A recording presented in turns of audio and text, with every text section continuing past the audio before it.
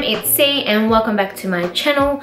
Over the time period of around a month, my Tumblr has been absolutely spammed with so many questions. So I thought I may as well answer all your questions through a video rather than an iPhone screen. Last week I posted a photo and in the caption I just stated that I was going to be making this video and I got you guys to comment your questions down below and so over the weekend I have picked 11 questions that were frequently asked and asked on my Tumblr quite a fair bit. So I've picked 11 that you guys have asked me and then I'll be answering them today for you guys. So without further ado, let's get straight into the video.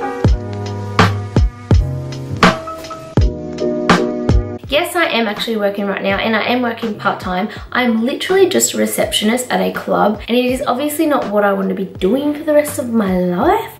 But right now it is good and it is helping me. It's obviously bringing in enough income and it is because we're really quiet and I'm sitting at the desk with my laptop. It helps me to put a lot of time into my social media and my blogs and my YouTube. And essentially that's what I do want to be doing, a lot of online stuff. Yes, I was studying interior designing, but that's, I don't know, I just kind of got bored with it. I literally got so bored with it. And it's a passion of mine, but I don't know if I want to be doing it as a career. So I am planning to study my personal training course and like I, it's not, I don't think I want to be a personal trainer. I don't really know. I just know that I want to start with this and see where it leads me, I guess. But I'm just waiting until I move into my new house, which is about a week and a half away now. Oh my god, so excited. So I'm just going to wait until I move into my house because like then I can have my Wi-Fi set and then I'll have my office and it'll just be so much easier because I do want to be doing a lot of it at home, my study, because I want to also have time to work on my YouTube and on my social media accounts. And I'm just too lazy to go to uni every single day.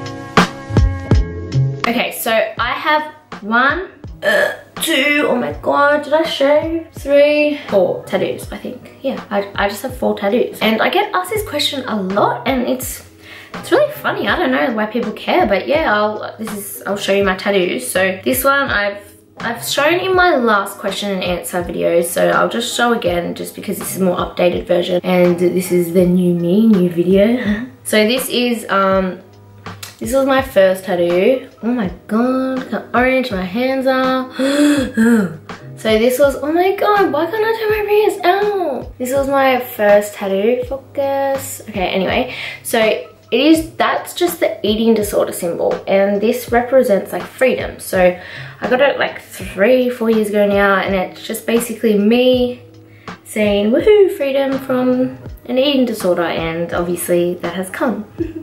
this is a cross that is a home job and I got this with a friend of mine when we were like 16, how embarrassing and it just re represents kiss and like X and O, like kiss and cuddle, but none of us wanted the O, so we both got a kiss, so we both have kiss kiss, so it doesn't actually make sense, but you don't really think you're gonna make a video about it in the future.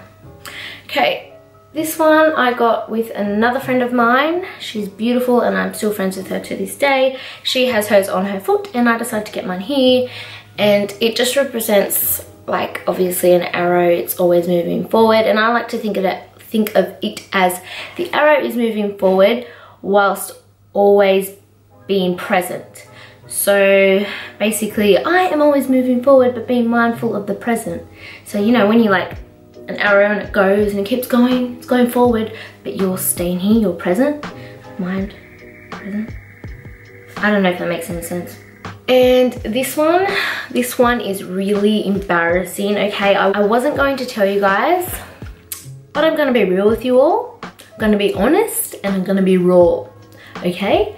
I was young, I was stupid, and I had a boyfriend at the time, and yeah, he, um, it's his birthday. Guys, don't judge, okay? I was young, we all do silly stuff. He said he would pay for it if I got it, so I got it. And he didn't actually get me on him at all. So yeah, I got pretty rorted with that, but We're not, this is gonna be our secret. We're not gonna tell anybody, all right? All right, is that okay? No one.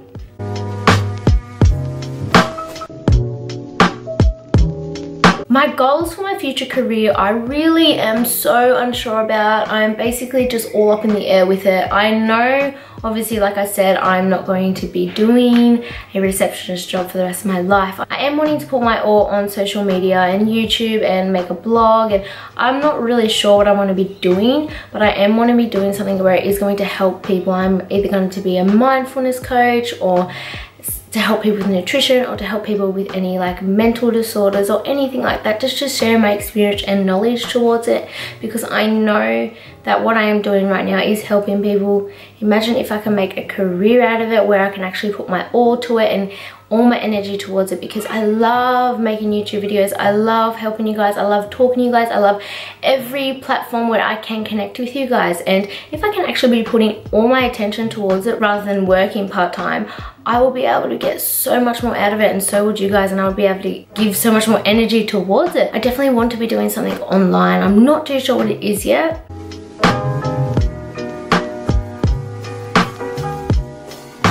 Guys already know, I have been vegan for a few years now and at first my family was a bit sketchy towards it and that was purely because I had an eating disorder at the time and they just thought it was another form of restriction and I even had mixed emotions towards it because at the start it was it was another form of restriction for me and just another like semi-safe thing to turn to. I also wanted to turn vegan because I knew it was going to help me in, some sense and I knew it was actually good for my mindset because I don't know about you guys but in the in a normal fitness community where they're carnivores and they eat meat they always are dieting. So they're like intermittent fasting or they're low carb or they're always doing something where it's a form of restriction. And I feel like the vegan community where they're healthy or not they don't diet.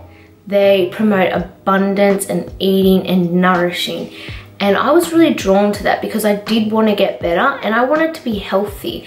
And if I was constantly having to think of numbers and think of a diet to be healthy. This is just me, guys. This is just what I thought towards eating meat.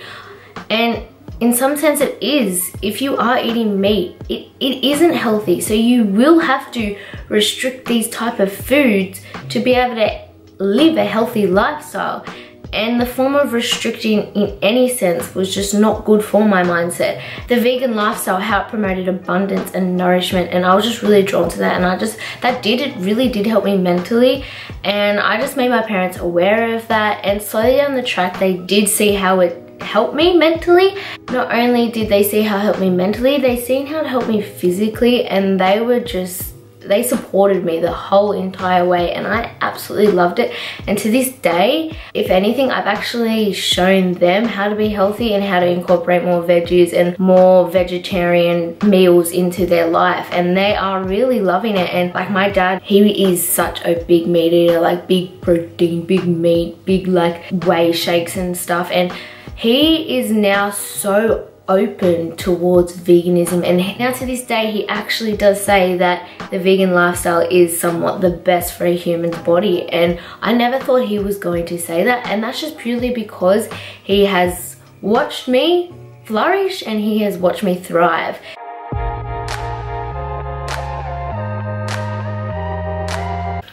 So yes, I am single. I'm not looking for anyone, I'm just open, if you know what I mean. But I've had so many like relationship fails in the past where now I know what I am actually looking for and how I can connect better with people in relationships. And I've had so many boyfriends in the past where there's there's the lights are on but nobody's home. Like there's no conversation happening and it's literally just like, how was work? Oh, it's hot today. What are we gonna make for dinner? Do you wanna watch a movie? How are ya? No conversation happening whatsoever. I love conversation making. I love talking about life, legitimate things, and I love growing with someone. So I want to be pushing them to grow and I want them to be pushing me. So I'm just looking for really someone that has respect, cares about me, loves me, makes me feel like number one. I want to feel like number one. So he's got to make me feel like number one.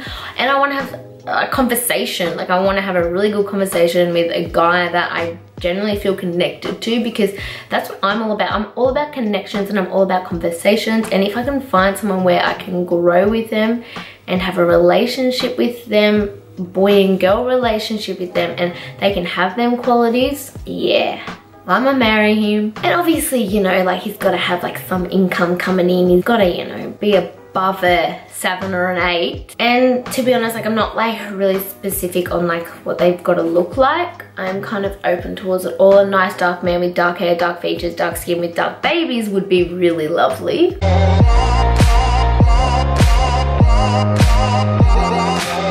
Honest, I don't have much hate in my body, especially towards humans and people. But ever since I have been hanging with my best friend Tiff like every single day, I've started to realize how good a friendship can be and how shit materialistic friendships are, if you know what I mean. My number one pet hate, I should say, with friends, people, whatever, is when they're not focused. So if you're talking to them and they're like, yeah, yeah, yeah, mm-hmm, yeah. Why are you listening to me? Can you hear me? Is anyone in there? Or people that don't actually speak their words, so they're like just agreeing or they're just saying what they think they want you to hear in a way. I love when people have their own opinions and they're okay to express that. Obviously they don't have to be bitchy about it, but if they can express that. I obviously don't like rude people. Rude people, I just, I don't, I, are they still a thing? Is there still rude people out there? I don't know. Oh my god, hello.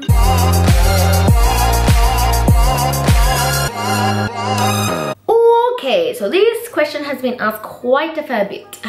So Obviously, I did lose my period when I got sick and yes, that is a part of, that does happen if you restrict yourself from nourishment, you restrict yourself from food. Your hormonal balance is like this and it goes crazy and you, yes, you lose your period. Your body is like slowly shutting down. It's it's awful and yes that did happen to me i lost my period i lost it probably like the first year that i kind of realized i had an eating disorder in a way so i lost it when i was um 16 I think. Yeah 16 and I am now 20 turning 21 and I still do not have it. But you need to remember that I've only actually physically started to get better in the last eight months or so. And and I have done my research and apparently as long as it took you to damage your body that's how long it takes you to heal your body. So yeah unfortunately I still have quite a while to go until my body is fully healed and I still have like obviously there's a lot of a lot of weight that I want to put on a lot of size and I feel like when I feel like when that happens my body will start to actually heal itself a lot more and a lot quicker. Right now I am at a healthy BMI and I am at a normal weight for someone like my height.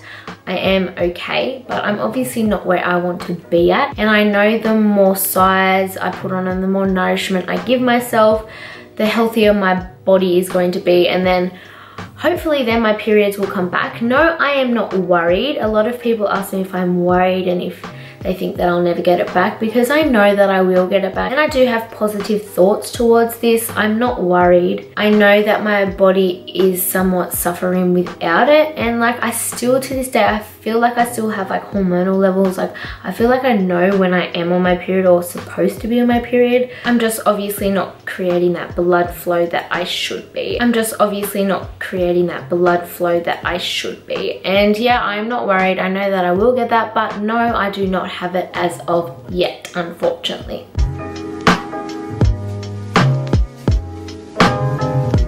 If I got to choose to go somewhere right now with somebody, it would definitely be Greece. It is literally me in a country and I would go with my best friend Tiff at the moment because I know that the both of us would just oh, love it and just enjoy each other's company so much and and I know we wouldn't get sick of each other because we basically are with each other 24 7 now anyway and I know if we are doing it over in Greece it wouldn't be any different if anything it'd be so much better and we would have so much more fun and Oh my god, I just want to go to Greece.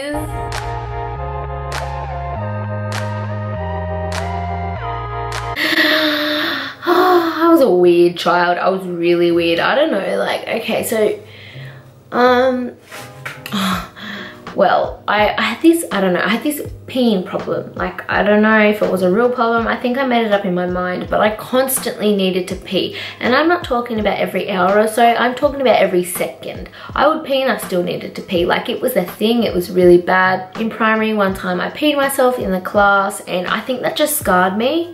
Like the teacher didn't allow me to go to the toilet and I peed myself and I think that just scarred me to make me think that I always needed to pee. So I literally had to hang next to the toilet at recess and lunch and then it got worse. So I, I lived in the toilet. I lived in the schoolgirls toilet all through primary. I would have my lunch in there, I'd hang there by myself and I enjoyed it actually. I liked it. I don't think that was weird. Oh, and there was this one time, I think I was in year four, year five. So like, I had a brain. I wasn't stupid. And like, I think that's the age I started to, I don't know, smell, like get odor.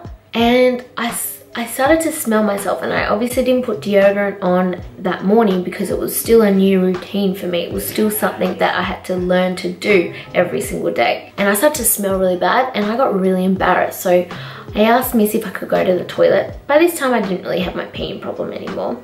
But I asked Missy if I could go to the toilet and I took a glue stick with me. I took a glue stick and I was like, hey, it looks the same. It looks like a roll-on deodorant. This could work. So I decided to roll the deodorant on under my arms. It got really sticky, but you know what? I actually didn't smell. The smell went away from, I, I think the glue acts as some like layer or a cover. I don't know, but the whole day I started to have fun with the stickiness. I, I don't know, I made a game out of it. I would go like this constantly and I'd go like this and I'd touch it and it was really gross. But I really enjoyed the feeling.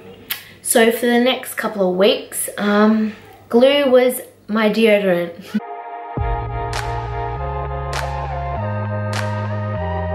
All my music that I love is literally just like Triple J or like Hottest 100 on iTunes or something. I've never been one to like that cool like hip hop music that everyone would always have on their phone. I was never one to figure out the coolest songs first. I would always have to like copy it off people and like all my friends would walk around with their little flip-flop phones with all the cool songs and I just wouldn't even know what it was. And I'm really bad with lyrics. Like I don't know the words to even my favorite songs and it's really bad but I just I just like singing and I like feel good songs. Right now I'll show you my, my fave songs.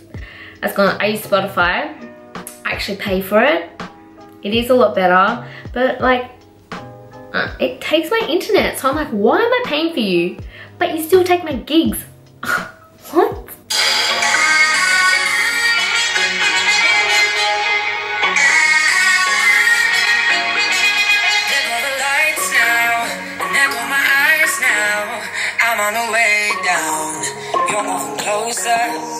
You say one more.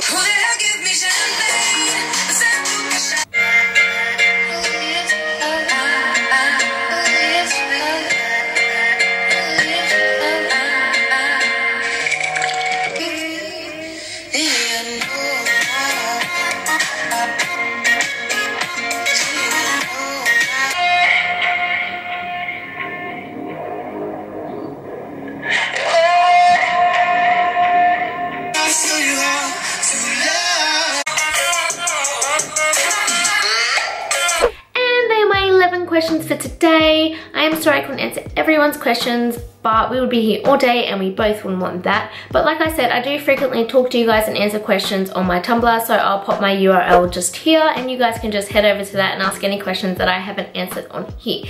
If you are new to my channel, hi, hello, make sure that you do subscribe because it really supports my channel. And all you regulars, I love you. I love you. Also make sure that you follow me on Instagram so you don't miss out on any of um, my um, stuff. Yeah.